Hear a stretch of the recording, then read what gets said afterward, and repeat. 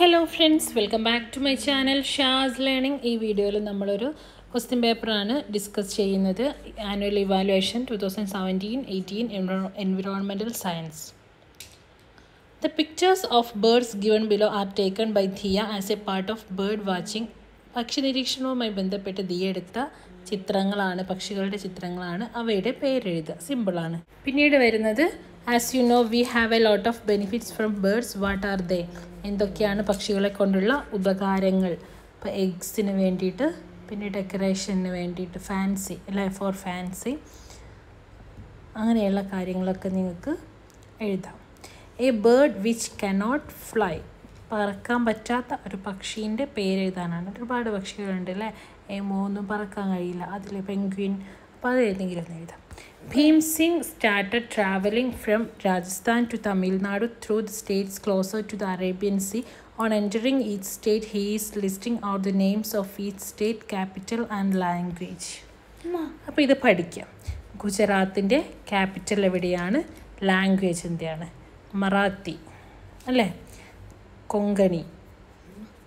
ആ ഒരു ക്യാപിറ്റൽസും സ്റ്റേറ്റും ലാംഗ്വേജസും ആണ് നിങ്ങൾക്ക് പഠിക്കാനുണ്ട്. അപ്പോൾ അത് നിങ്ങളൊന്ന് പഠിച്ചു വെക്കുക അപ്പോൾ ഇവിടെ നമ്മുടെ സ്റ്റേറ്റ് എല്ലാണ്ട് നമ്മുടെ ഇന്ത്യയുടെ ഒരു മാപ്പാണ് ഇവിടെ കൊടുത്തിട്ടുള്ളത് കേട്ടോ.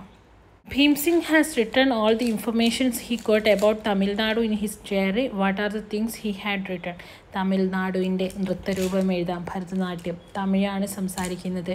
അത് ബൗണ്ടറി ഇടുന്ന സ്റ്റേറ്റസ് ഏതൊക്കെയാണ്? ഫസ്റ്റ് വൺ കേരള കർണാടക അങ്ങനെയുള്ള കാര്യങ്ങളൊക്കെ നിങ്ങൾക്ക് എന്ത് ചെയ്യാൻ പറ്റും? എഴുതാം.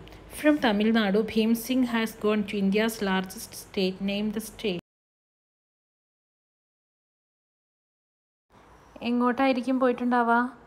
ആ രാജസ്ഥാനിലോട്ടായിരിക്കും പോയിട്ടുണ്ടാവുക. ഏറ്റവും വലിയ സ്റ്റേറ്റ് എന്ന് പറഞ്ഞാൽ രാജസ്ഥാനാണ് വരുന്നത്. അതായത് രാജസ്ഥാനിന് തമിഴ്നാട് വരെ സഞ്ചരിച്ചു. പിന്നെ റിട്ടേൺ രാജസ്ഥാനിലോട്ട് തന്നെ പോയി.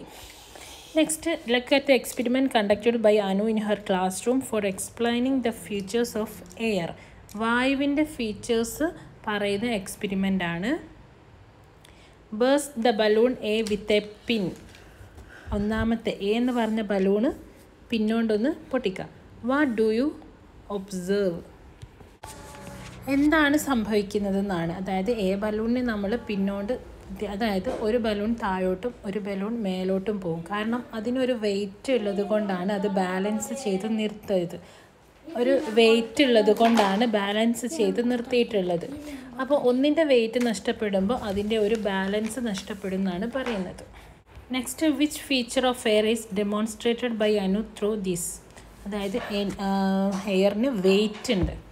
Write down the other features of air അതായത് എയറിന് സ്പേ ഓക്യുപ്പൈ ചെയ്യാൻ സ്പേസ് വേണം.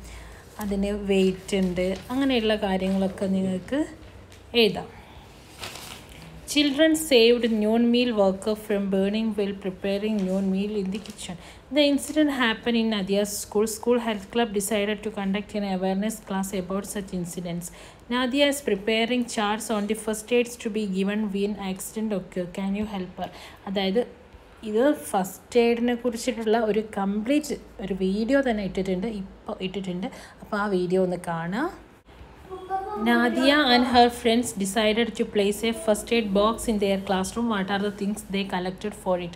അപ്പോൾ ആ ഒരു വീഡിയോയിൽ ഓരോ ഇഞ്ചേർഡ് ആയാലും ചതവ് പറ്റിയാൽ ഫ്രാക്ചർ ആയാൽ ബോധക്ഷയം ഉണ്ടായാൽ പിന്നെ മുറി പറ്റിയാൽ പാമ്പ് കടിച്ചാൽ തീ പിടിച്ചാൽ പിന്നെ ഫസ്റ്റ് എയ്ഡിലുള്ള സാധനങ്ങളൊക്കെയാണ് ഇങ്ങനെയുള്ള കാര്യങ്ങളൊക്കെ ആ വീഡിയോയിൽ ഡീറ്റെയിൽ ആയിട്ട് പറയുന്നുണ്ട് അപ്പോൾ ആ വീഡിയോ തീർച്ചയായിട്ടും കാണുക Next, Teja and her friends visited the primary health center in Pangar, Panchayat to know about the services we get from the primary health center. They noticed the board placed in front of the center.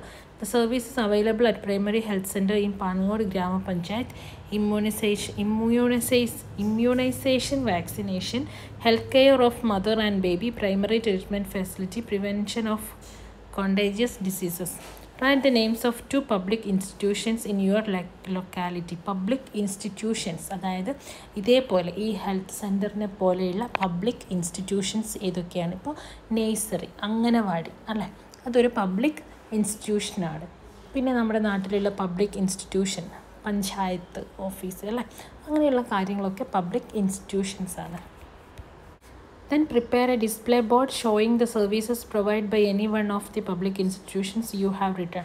നമുക്ക് nursery അംഗനവാടിനെ കുറിച്ച് എഴുതാം. അതായത് അംഗനവാടി എന്ന് പറയുമ്പം കുട്ടികളെ അവിടെ കൊണ്ടുപോയി ഇരുത്തി ത്രീ ഇയേഴ്സിന് മുകളിലുള്ള ത്രീ ടു ഫോർ ഇയേഴ്സിന്റെ കുട്ടികളെ അവിടെ കൊണ്ടുപോയി ഇരുത്തി പഠിപ്പിക്കുന്നതെന്ന് മാത്രമല്ല ആ നാട്ടിലുള്ള എല്ലാ കാര്യങ്ങളും ചെയ്യുന്നത് ആ അംഗനവാടി ടീച്ചറാണ് അല്ല അംഗനവാടി വർക്കറാണ് നേഴ്സറി വർക്കറാണ് അതായത് ഇപ്പം പ്രഗ്നന്റ് ലേഡീസിന്റെ കാര്യങ്ങൾ പിന്നെ ന്യൂ ബേൺ ന്യൂ ബോൺ ബേബീസിന്റെ കാര്യങ്ങൾ അങ്ങനെയുള്ള കാര്യങ്ങൾ പിന്നെ മെന്റലി റിട്ടയർഡ് ആയിട്ടുള്ള അതായത് സി ഡബ്ല്യു എസ് എന്തെങ്കിലും സ്പെഷ്യൽ നീഡ്സ് ആവശ്യമുള്ള പേഴ്സൺസ് ഉള്ള ആ വാർഡിലുള്ള ആൾക്കാരുടെ കാര്യങ്ങൾ ഇതൊക്കെ ചെയ്യുന്നത് അംഗനവാടി നേഴ്സറി വർക്കറാണ് അപ്പോൾ അങ്ങനെയുള്ള കാര്യങ്ങൾ ഉൾപ്പെടുത്തിയിട്ട് പിന്നെ കുട്ടികൾക്കുള്ള വാക്സിനേഷൻസ് സ്പോട്ട് ചെയ്യുന്നത് പിന്നെ ചെക്ക് വാക്സിൻ വെച്ചിട്ടുണ്ടോ എന്ന് ചെക്ക് ചെയ്യുന്നത് ആ വാർഡിലുള്ളവരുടെ വെയിറ്റ് എടുക്കുന്നത് കുട്ടികളുടെ വെയിറ്റ് കുട്ടികൾക്ക് വേണ്ട പോഷകാഹാരം അമൃതപ്പൊടി അങ്ങനെയുള്ള കാര്യങ്ങളെല്ലാം നിങ്ങൾക്ക് എഴുതാൻ പറ്റും.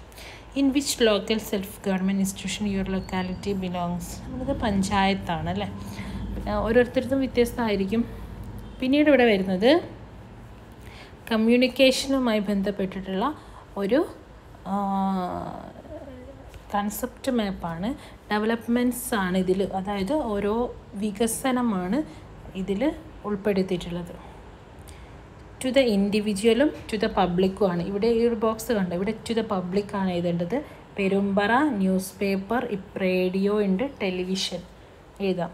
പിന്നെ ടു ദി ഇൻഡിവിജ്വൽ വ്യക്തിപരമായിട്ട് ഒരാൾക്ക് നമ്മൾ പേഴ്സണലായിട്ട് അയച്ചിരുന്നത് പണ്ട് കാലത്ത് എങ്ങനെയായിരുന്നു അയച്ചിരുന്നത്? അതായത് ആൾക്കാരെ പറഞ്ഞായിരിക്കും. അല്ലേ? പേഴ്സണിനെ ദൂത് അയക്കുക എന്നൊക്കെ പറയും. അല്ലെ? പ്രാവിന്റെ കാലുമ്മൽ കെട്ടി അയക്കുക അങ്ങനെയുള്ള പി ജി എന്ന് എഴുതാം. അവർ പേഴ്സൺ എന്ന് എഴുതാം. പിന്നെ ലെറ്ററായി പിന്നെ ഇമെയിൽ മെസ്സേജസ് ഇമെയിലായി പിന്നെന്തായി പേഴ്സണിനുള്ളത് വാട്സപ്പ് മെസ്സേജസ് ആയി അങ്ങനെയുള്ളതൊക്കെ നിങ്ങൾക്ക് എഴുതാം. The system which connects computer in different parts of the world to provide information the system which connects computer in different parts of the world internet ആണല്ലേ? അപ്പോൾ ഓക്കെ ഫ്രണ്ട്സ് നെക്സ്റ്റ് വീഡിയോയിൽ next question പേപ്പറായിട്ട് കാണാം. Thank